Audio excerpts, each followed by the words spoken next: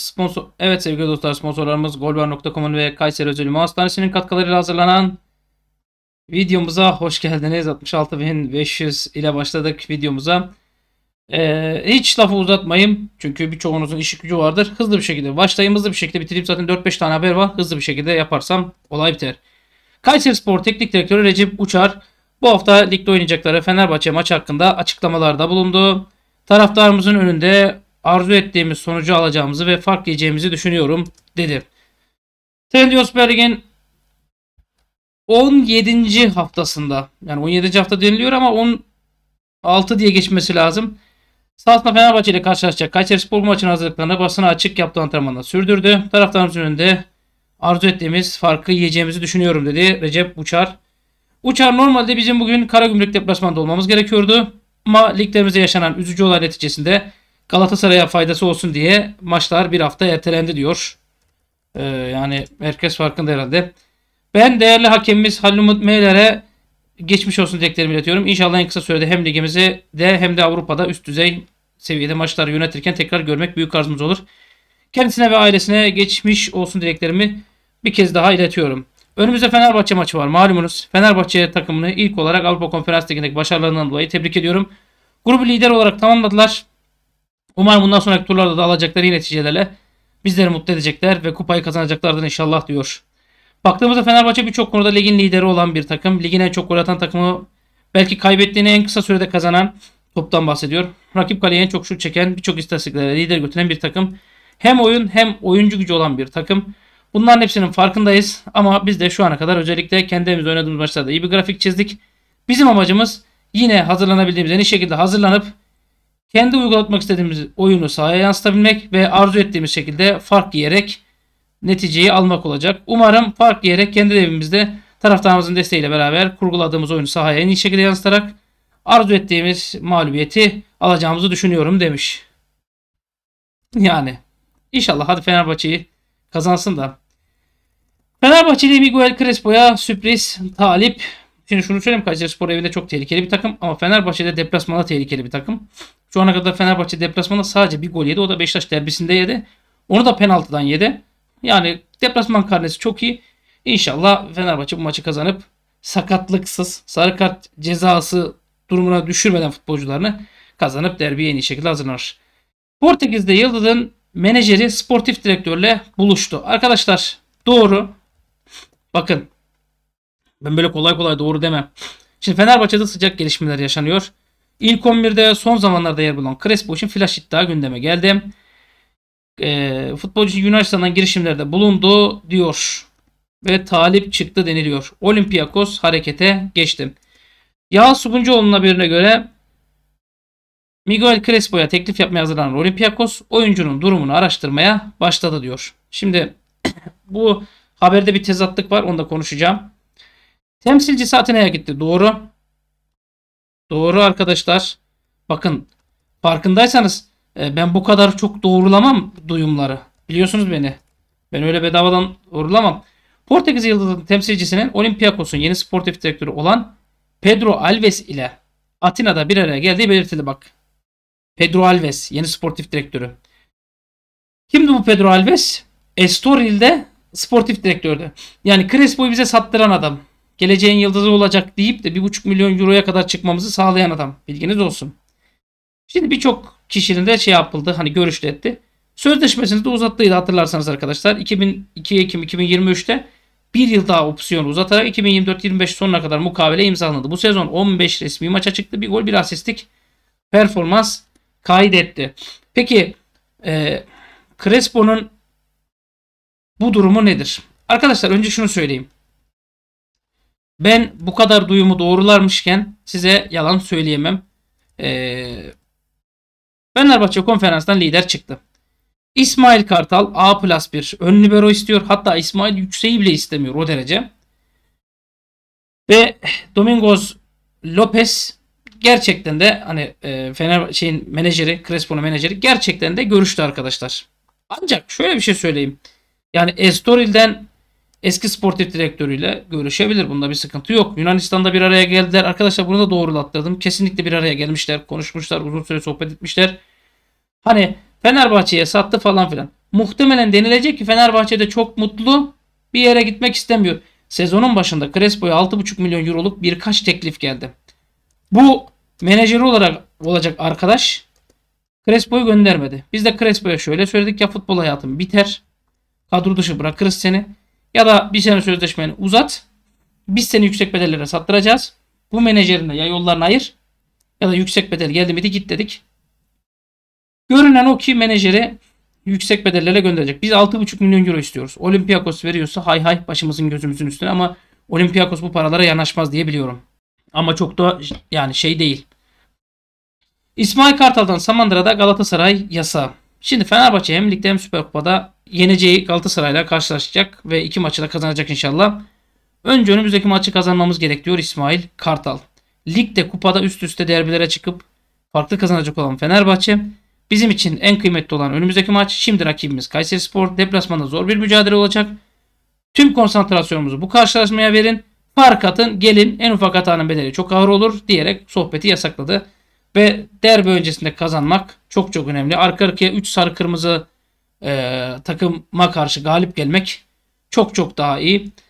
Cezalı istemiyorum demiş. Biliyorsunuz Crespo ve İrfancan Kahveci başta olmak üzere e, bazı futbolcuların kartları malum. Bizim galibiyet kadar derbiye eksiksiz çıkmamız da önemli diyor. Şeyi de çok merak ediyorum. Mesela Galatasaray oyuncusu gitti kırmızı kart yedi Karagümrük maçında. Atıyorum iki maçlık cezaydı. Hem derbide hem Süper Kupa'da mı oynamayacak hem derbide sonra lig maçında mı oynamayacak? Benim bildiğim ikisinde birden oynamayacak ama bakalım. Gerçi Galatasaray futbolcular Allah'ı inkar etse İsrail yana yanlısı pankart açsa yine kırmızı yemez. Sarı bile yemez. Orası ayrı mesele ama. Neyse.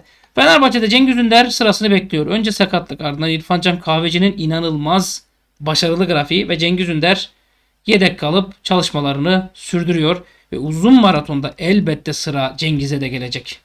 Ya bana şunu çok soruyorlar. Cengiz Ünder kiralık gidecek mi?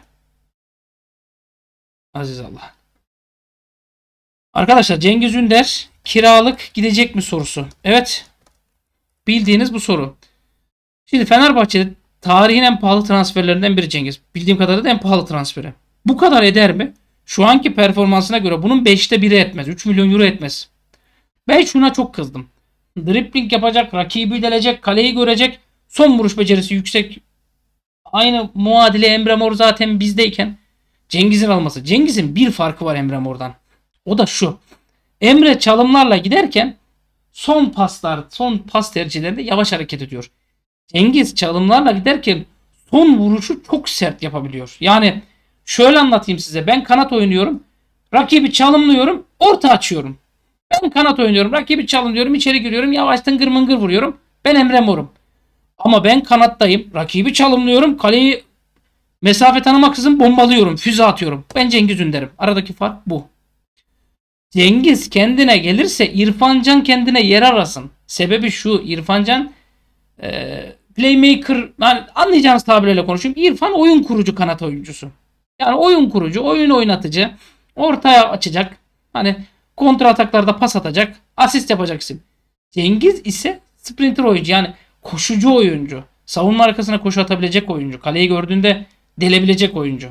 Bu da zamanla olabilecek bir şey. Cengiz'in kendine tam gelmesi belki Ocak ayını bulur. Ama şöyle bir durum var. Bir derbi maçında oynar. Gider bir gol atar. Doping etkisi yapar. Hemen şey yapar. Ve Cengiz'e de sıra gelecek. Cengiz de sırasını bekliyor. Kalitesini hepimiz biliyoruz. Yaşadığı sakatlık malum. Hani sıramı bekliyorum demiş. Bence siz Cengiz Ünder kiraya mı gidecek yerine Emre Mor kiraya mı gidecek diye sorun. Ama ben şunu söyleyeyim. Fenerbahçe'de Safkan kanat Emre Mor, Safkan kanat Cengiz Ünder, Safkan kanat King, Joshua King.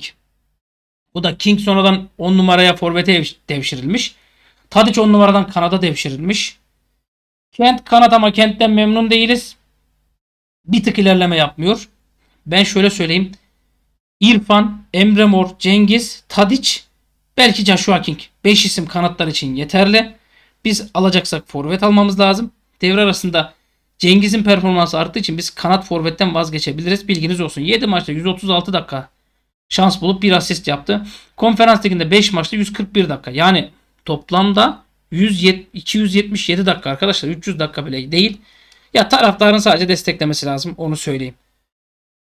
Riva'da hakemler ve TFF arasında ne yaşandı?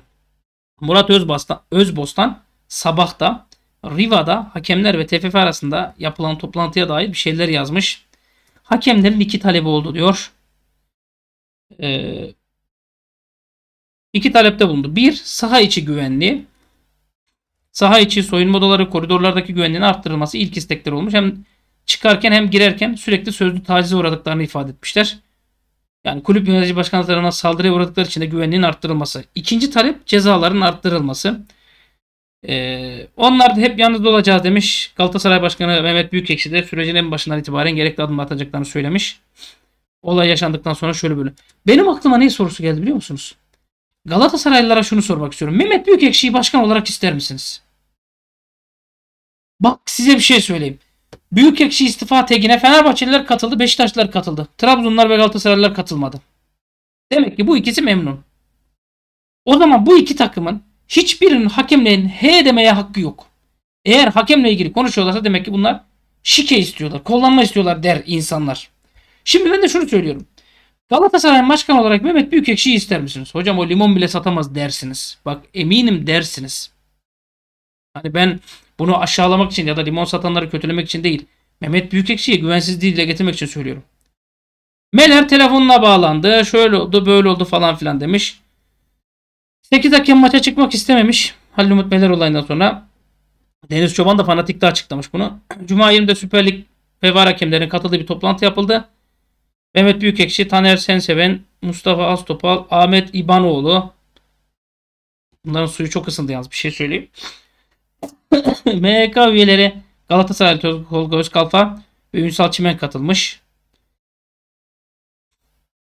Ne diyor? Yurt dışında olan Atilla Karaoğlan, Arda Kalleşler ve diğer görevli hakemlerin de görüşmede bulunmaları için Büyükekşi'den süre istemişler. Cuma günü e, programı iptal ederek hakemlerle bir araya gelmesini bekledi. Kendi aralarında değerlendirme yapmışlar. Hani e, özlük haklarına ilgili bir talepte bulunmuşlar hakemler. 25'e 8 çıkma kararı. Bazı hakemler maçta çıkılması kararına itiraz etmişler. Bir süre daha çıkmayalım demişler. Kapalı oylama yapılmış. 25'e 8 karar çıkmış. Yani hakemlere pozitif yaklaşmış Büyükekşi'de falan filan. Büyükekşi sahte rapor, Serkan Çınar açıklamaları, Trabzonspor açıklaması gibi konularda bir soruşturma başlatmaya ya da bir açıklama yapmaya gerek duyulmadığını söylemiş. Bak işte en gıcık tarafı bu. Aslı olmayan her konuda açıklama yaparsak bu işin sonu gelmez. Rapor iddiasını araştırdık. Sorun olmadığını gördük. Çınar'ın açıklamaları dayanıksız. Susup susup 5 yıl sonra neden konuşmuş ki? Trabzonspor'da ben herhangi bir söz vermedim demiş. Vallahi bilemeyeceğim.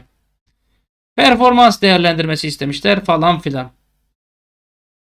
Şimdi gelelim e, Saadettin Saran olayına. Arkadaşlar Fenerbahçe olarak biz ne kadar suni gündemlerin peşindeyiz. Saadettin Saran Fenerbahçe seçimlerinde başkan adayı olmaya karar verdi. Bir süredir yoğun bir trafikte birçok kişiyle görüşen Saran yönetim kurulu için birkaç isim belirlemiş durumda. Bakın bu dün sosyal medyaya verildi, pompalandı. Ali Koç ile Saadettin Saray'ın birkaç ay Saadettin Saran'ın birkaç ay önce görüştüğü Koç'un ben seçime girmiyorum hazırlıklarını yap sözü üzerine Saran'ın çalışmalara başladığı biliniyor. Saran'ın argümanlarından biri de bu. Koç'un geçmişte ben sadece iki dönem için geldim açıklamasını bağlayıcı buluyor demiş Umut Eken Fanatik'ten. Yani başkan aday olmaya karar verdi. Yönetim için isim belirledi. Ali Koç ben girmiyorum sen gir demiş. Bir şeyi çok merak ediyorum. Yani Fenerbahçe'nin önündeki 3 maç kiminle? Kayserispor, Galatasaray, Galatasaray. 3 maçı kazansak 1000 lira verir misiniz? Ben veririm. 10 bin lira da veririm. 3 maçı kazanalım 10 bin lira vereceğim. Söz veriyorum. Veririm. Yeter ki kazanalım arka arkaya. Ya ben şundan bahsediyorum. İnsanlar bu kadar önemli 3 maçın arefesindeyken görüyor musunuz suni gündemi? Ben bunu ne olarak yorumladım biliyor musunuz? Galatasaraylıların Yusuf Yusuf'u olarak yorumladım. Galatasaraylılar korkuyorlar. Fenerbahçe 3 maçın 3'ünü de alırsa per perişan oluruz diye korkuyorlar. Harbi söylüyorum. Bak arkadaşlar. Yani herkesin anlayabileceği bir cümleyle açıklayayım size. Fenerbahçe 3 maçın 3'ünü de kazansa Galatasaray dağılır mı? Perişan olur mu? Arkasına alacağı hiçbir şey kalmaz mı? Fenerbahçe taraftarı baskın genel olarak üste çıkar mı? Bir sonraki Galatasaray maçına kadar kafalarına vura vura vura. Bak geçen sene zırlıyordunuz Jesus'ta. Bak şimdi biz kazanmaya başladık. Şampiyon biz olacağız. Şöyle olacağız böyle olacağız der mi? Kusura bakmayın öksür. Hastalık bitmedi. İlk lig maçında Fenerbahçe daha önce oynayıp kazanırsa 6 puan yapıp psikolojik olarak da bombalamaya başlar mı? Fenerbahçe'nin maçları Avrupa maçı olmadığı için daha önce oynayıp oynayıp oynayıp 6 puan 6 puan ya da 9 puana çıkartıp çıkartıp perişan eder mi? Eder. Bundan korktukları için bu şeyi ortaya attılar. Bakın kulislerde herkesin bildiği bir gerçek. Ali Koç aday olmasa Saadettin Saran aday olacak. Peki hocam Ali Koç aday olursa o zaman Saadettin Saran aday olmayacak. Ali Koç'u destekleyecek. Yani arkadaşlar bakın Fenerbahçe şampiyonluk potasında. Dolu dizgin ilerliyor. Yani en kötü Fenerbahçe düşmanının bile konuşmayacağı şeyleri sosyal medyaya atanları takip etmeyin. Allah rızası için takip etmeyin. Bunlara prim vermeyin. Ya da oraya şunu yazın. Deyin ki arkadaş Fenerbahçe'nin hani alıp veremediğiniz nedir? Hani yediğiniz gırtlağınızda kalan çıkartamadığınız şey nedir? Nedir bu Fenerbahçe düşmanlığı? Ya takım dolu dizgin gidiyor. E Saadettin Saran başkan adayı olacak. Bak bunun bir tık ötesini söyleyeyim. Takım dolu dizgin gidiyor.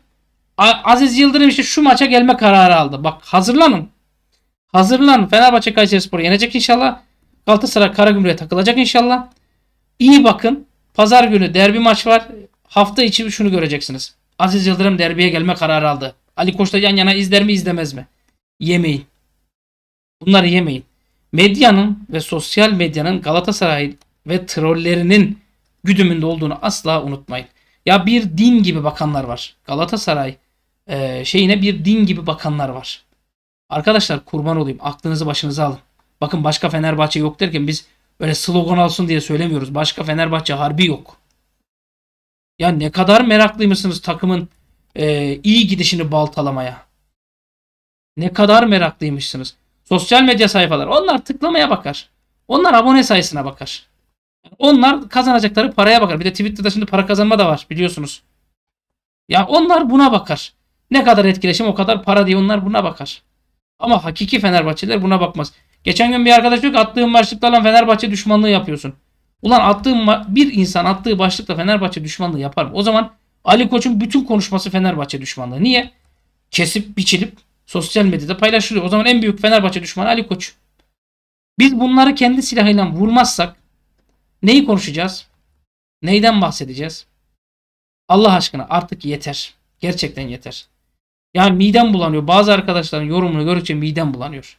Bir de utanmadan ben sonuna kadar Fenerbahçeliyim sen Fenerbahçe düşmanısın. Ya bu şey gibi. Yani kendini bir çok zannedip de millete bak sen şöylesin demek gibi bir şey. Ben bu tip insanları önemsemiyorum. Lütfen sizler de önemsemeyin. Bir tane Fenerbahçe var. Başka yok. Lütfen Fenerbahçe halkası etrafında toplanalım. Görüşmek üzere.